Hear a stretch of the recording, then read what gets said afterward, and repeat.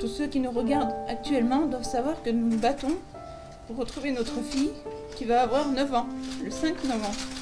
Aujourd'hui, un individu est suspecté, mis en examen par des juges qui ont vélé des indices graves ou concordants à son encontre. Nous lui demandons de dire tout ce qui s'est passé cette nuit-là et de coopérer avec la justice. Nous espérons qu'il entende notre appel à l'aide, car notre seul souhait, c'est de retrouver notre fille.